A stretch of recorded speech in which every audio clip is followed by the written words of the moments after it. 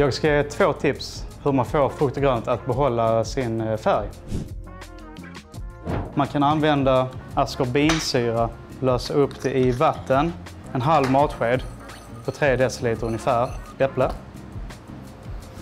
Kan man ta pensla på vattnet på direkt. Vill man vara ännu mer säker kan man också även lägga ner det i vattnet. Plasta, stoppa in i kylen så behåller det sin färg.